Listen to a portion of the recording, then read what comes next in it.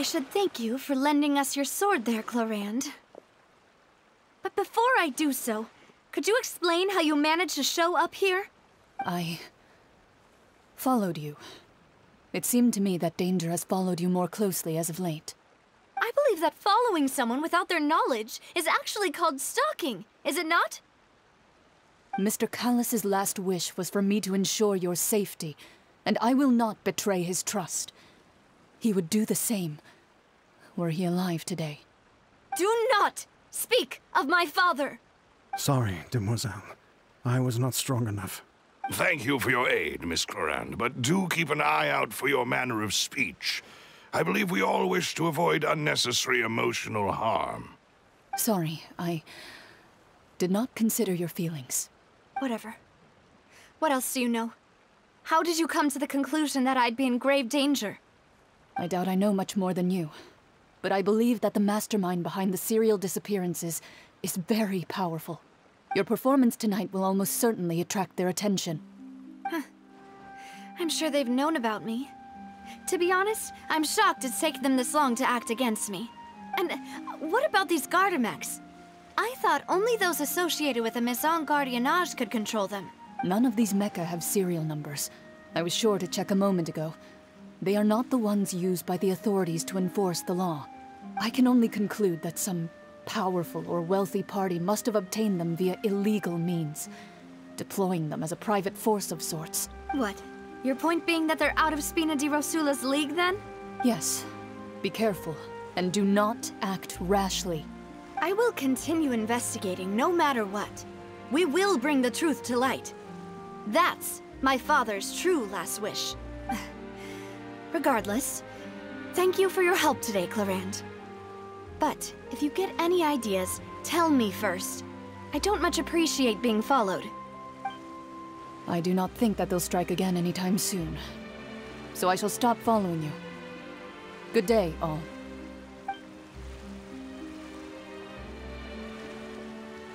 Right.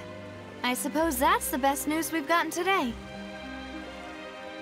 Demoiselle, I believe that Miss Clorinde was being sincere with you. If we tried, we could attempt to thaw relations a little. I know, I just... She's... oh, thank goodness! Paimon thought we were done for! Those Gardemeks came out of nowhere while you were unconscious, and Nadia and her gang saved us! Oh, and there was that champion duelist named Clorinde who came out to save us too! We got lucky there. Paimon probably couldn't have fought them off otherwise. Oh, come now. Forget all that polite talk. That wasn't really a farewell meal we had back there. Not for me, anyway. In truth, I hope that every meal we have together shall be a victory feast. As such, we're still partners. There's no need to thank me. It will take 50 years for me to match Demoiselle's magnanimity. If it were me, I would have joined the Spina di Rosula on account of her goodwill long ago. All right, you two. That's enough. Actually, Navia, how did you know that we were in danger? You sure did show up in the nick of time. Well, to be honest, you're the one who tipped us off, Paimon. Huh? Really? Paimon contributed somehow? Ooh, Paimon's even more amazing than she thought! Yes, all thanks to you grabbing my drink by mistake. Uh... After we parted ways, I was on the way back to one of our bases when I suddenly thought of what you said. That the Fonta tasted kind of salty and icky. Fonta only comes in sweet flavors. So how could it have tasted salty? The color of the drink, if I recall, had also been a bit off. So the Fonta had been spiked with water from the primordial sea? Yes. So if you hadn't drunk that cup for me... Spina di Rosula is preparing the grandest of awards for you as we speak for saving the boss. Huh. Really? I sent people to Hotel Debord to investigate. But whoever did this left no trace at all. That's when I figured out that you might be in danger, and hurried here as quickly as I could. But why would they go after us too? All we did was defend Lyney in court and help clear his name. Ugh, now we're caught up in this mess too, aren't we? Well, you did foil a plan that they were probably pretty proud of, and almost got their name in the process. Speaking of which, did anything strange happen when you drank the primordial seawater?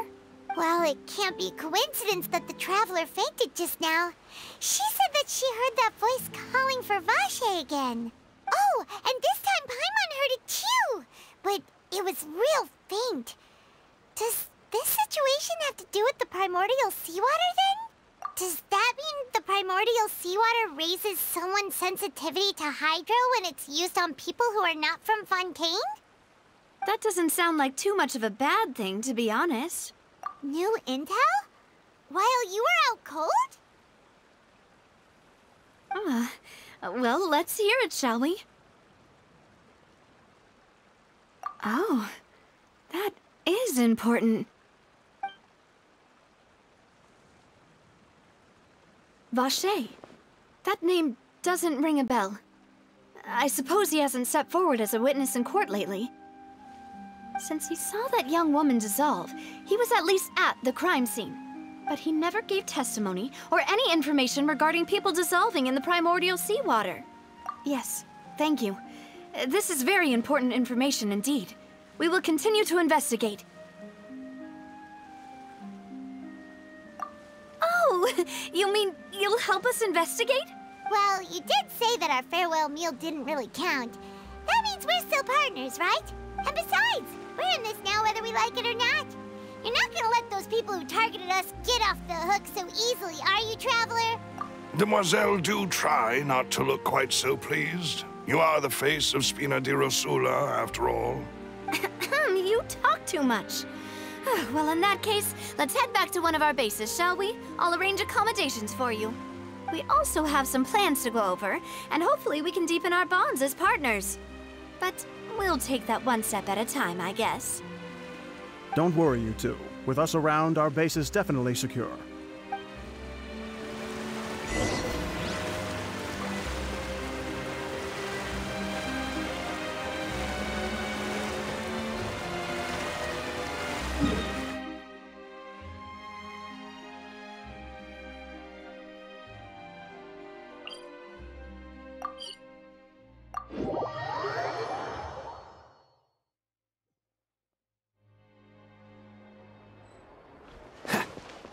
What's the hurry?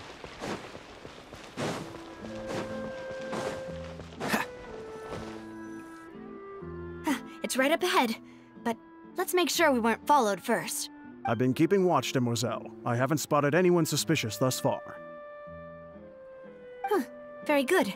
But let's not let our guard down for now. I shall find rooms for us. Thank you, Melus. Now, let's continue, Traveler.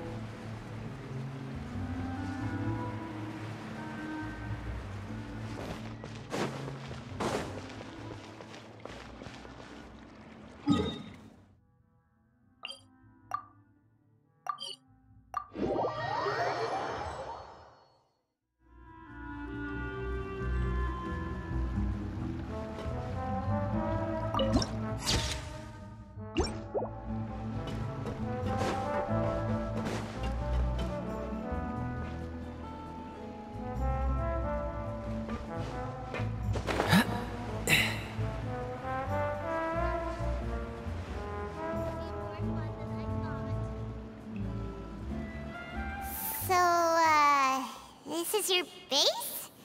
It's not quite what Paimon imagined. Your accommodations have been arranged. Under the present circumstances, I can confidently say it's the best we have.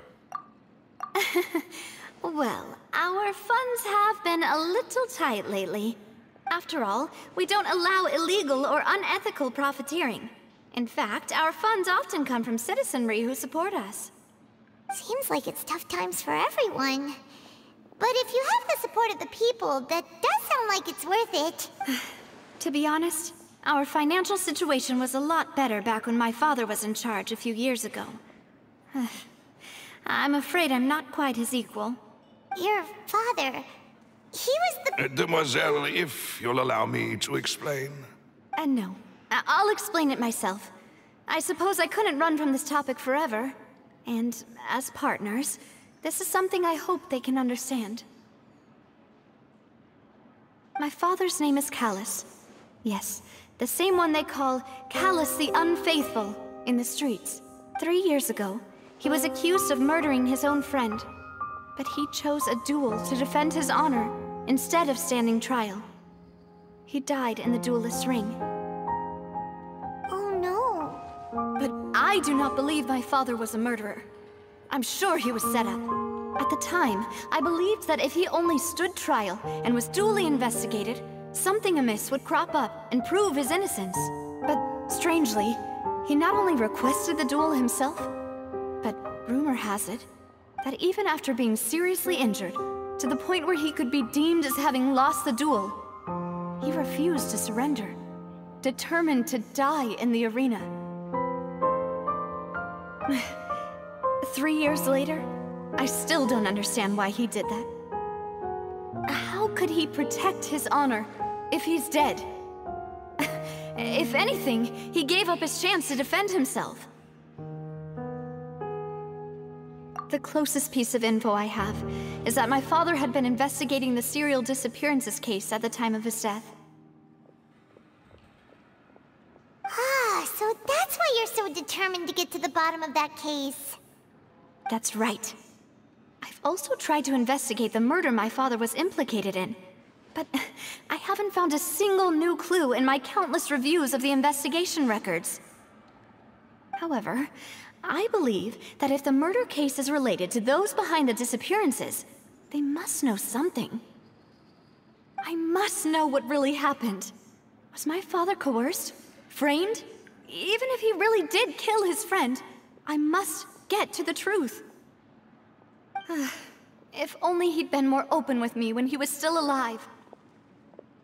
He even hid the fact that my mother died due to complications when giving birth to me. And now, here I am investigating his death. you really are a handful, aren't you, Papa? Demoiselle, please, if there is anything I can do, anything at all, I also will never believe that Master Callas murdered anyone. There are none whom I respect more than the two of you, Demoiselle. Master Callas did so much good in life, yet all it took was one murder case for him to be dubbed Callas the Unfaithful. Even our supporters decreased greatly due to that incident. Wait, if Callas was such a good man, wouldn't people at least be a little suspicious when he was accused? Uh, no. Perhaps people just revel in that kind of drama. It's not something exclusive to people from Fontaine, really. Everyone's like that. People love watching the evil turn over a new leaf, but they also enjoy watching good people fall into an abyss from one slip-up just as much. But how could... Never mind. If Callas was really falsely accused, we have to find the truth. He didn't deserve to have that happen to him. Uh, There is one other thing. Master Callas's opponent in the duel was Ms. Clorinde. Oh, her? Well, then, isn't that as good as saying that she was the one who killed him? Yeah, that's not the sort of thing that you can just let go and move on from. Miss Clorinde has always placed great emphasis on the honorable nature of the duel. If her opponent doesn't yield, she will not stop either. She knew Master Callas beforehand and greatly respected him, but seeing how he was resolute in the arena, there was only ever one choice she could have made. Hmm, it's not that I don't understand her at all, but I... I just can't deal with this yet. Don't worry, Navia. Paimon... Afterward, Miss Clorinde told us that at the start of the duel, Master Callas requested that she ensure Demoiselle Navia's safety. Yes, that is our understanding as well. oh, Papa. What madness drove you to ask the person who killed you to take care of me? All right, anyway, that's the information I wanted to share with you. Even if it did sound like I was just complaining towards the end. Uh, thanks. You two should go and rest. This was quite a day after all. Yeah. Paimon's feet. Please, relax and get some sleep. We will ensure you rest soundly.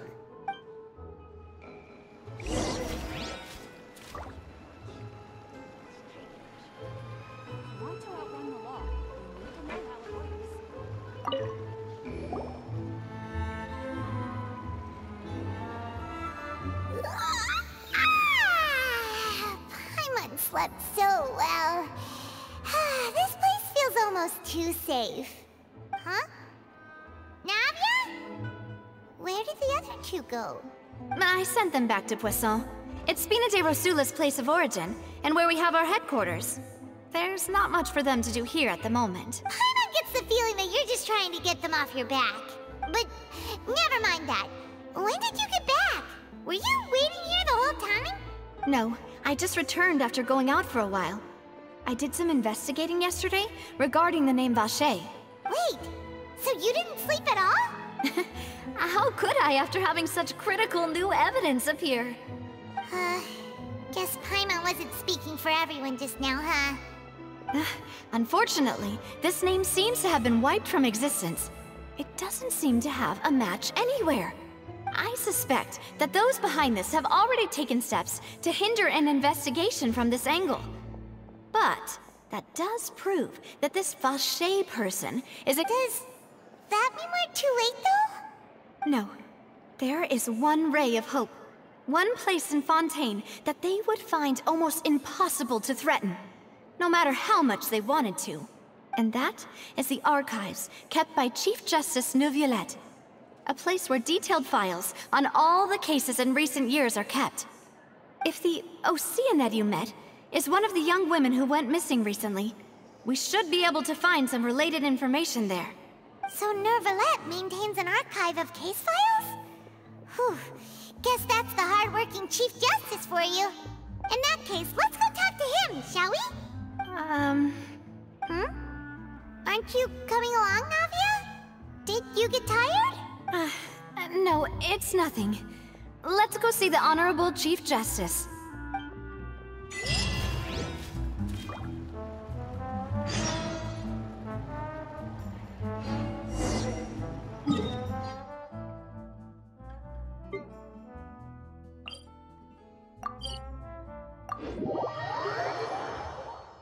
Palais is right up ahead. Come on.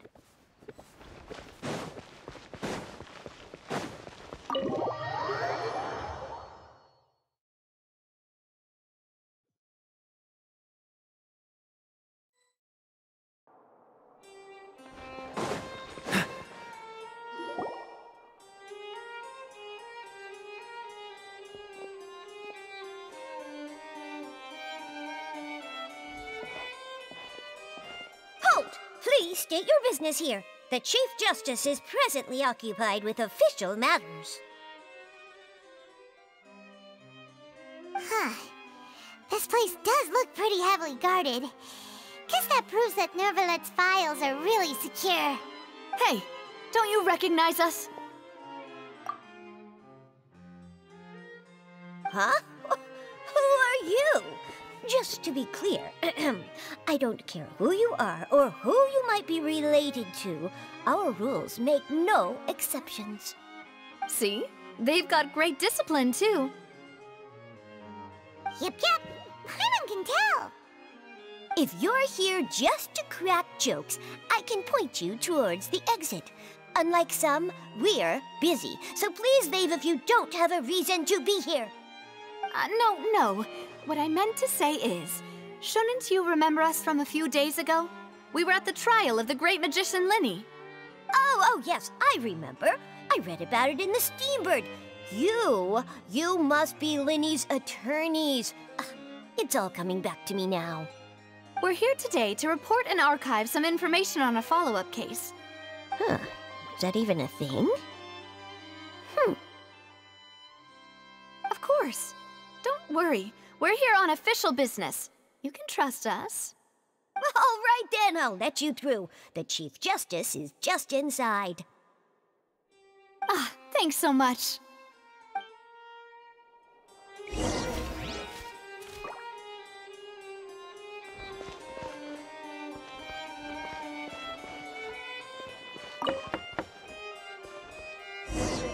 Please come in.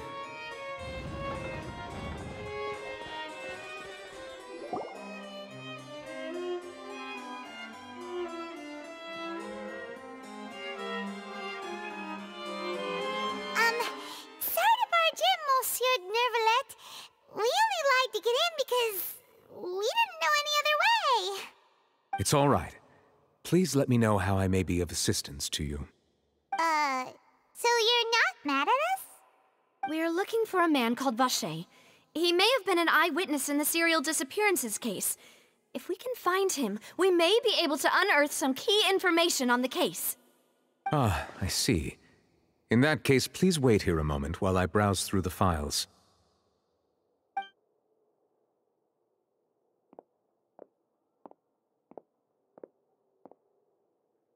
Who knew that Neuvillette would be so easy to talk to?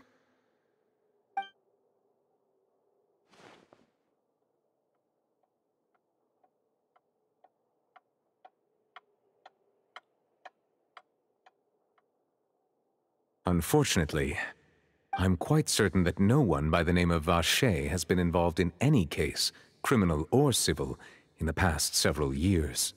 There are no records of him either in the files or in my memory. Traveler, what if it was really just a dream? Is that so? All right then. Thank you so much, Monsieur Neuvillette. We'll take our leave now. Ahem.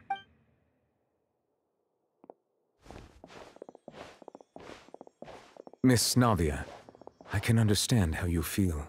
Your father, Callas, was a truly exceptional man. We deeply regret his passing. Hmm. And what are you trying to say, Monsieur Neuvillette? Are you trying to console me? Extend your sympathy? Or just express some tendril of regret? No. You are not trying to do any of that. I can hear it in your voice. There's no emotion behind your words. You only said those things because you felt like you should. It's just like last time. After my father took his place in the duelist ring, I pushed through the guards to talk to you as a last resort. You even told me then that you thought there was something fishy with the case, yet you still allowed the duel to go ahead. In your eyes, the value of a human life is nothing compared to those cold laws you hold so dear. If you truly regret my father's death, then why didn't you call a stop to the duel? Why didn't you give me the power to stop him from throwing his life away? Why did you just let him die, despised and hated by all? Everything was hanging on a thread at that moment. Just the tiniest effort could have changed everything. There are still so many things I never got to tell him. So many questions he still owes me answers to. If you really have no heart, then just look me in the eyes. I, Navia, will show you the true meaning of regret. I'm sorry, Miss Navia. You and my father are truly alike. You keep all kinds of things in your heart and never say a word to anyone. It's not so much that you can't feel, but that you would never express anything. Oh well. In any case, everyone already knows full well the apathy of the Chief Justice. My apologies for taking my emotions out on you, Monsieur Chief Justice. Let's go, Traveler and Paimon.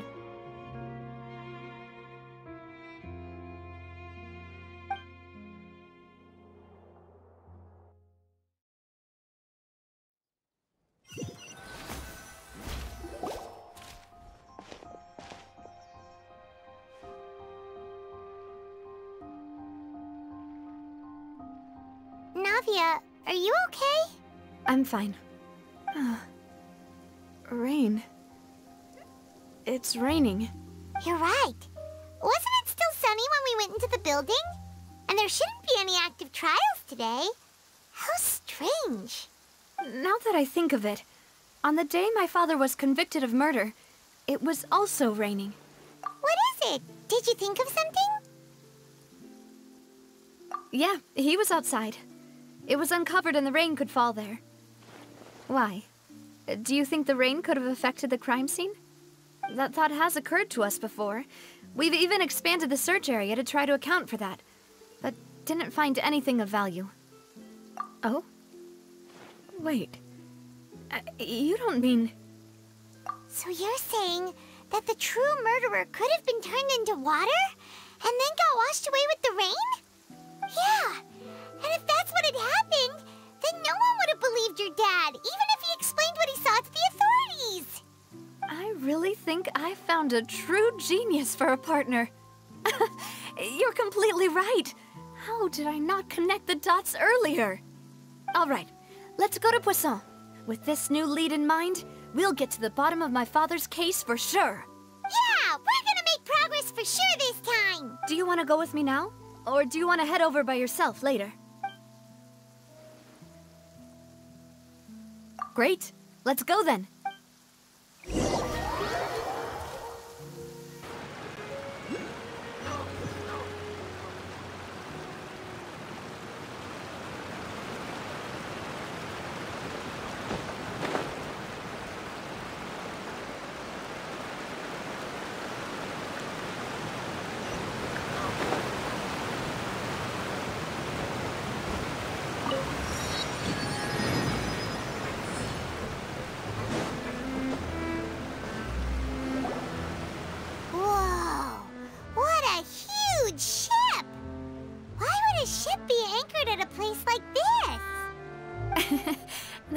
Need to be so surprised.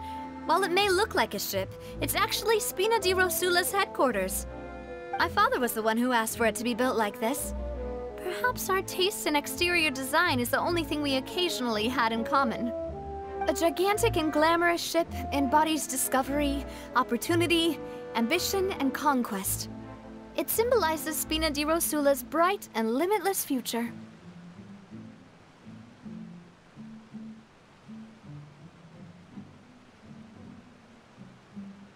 And Paimon thought you were bluffing when you said Spina di Rosula had a glorious past. Paimon was confused why a group with such a history would live in the sewers. But now that Paimon has seen this ship for herself, she's been convinced. Well, Poisson is where Spina di Rosula began, after all. It's our main base, our home.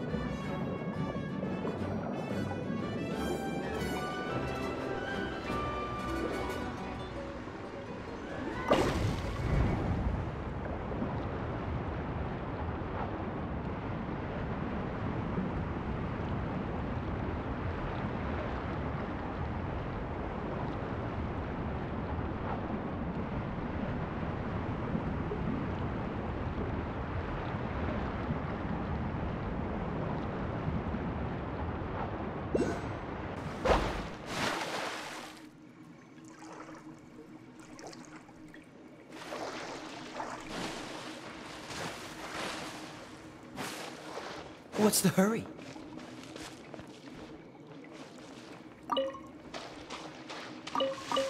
Want to take tomorrow? Another test.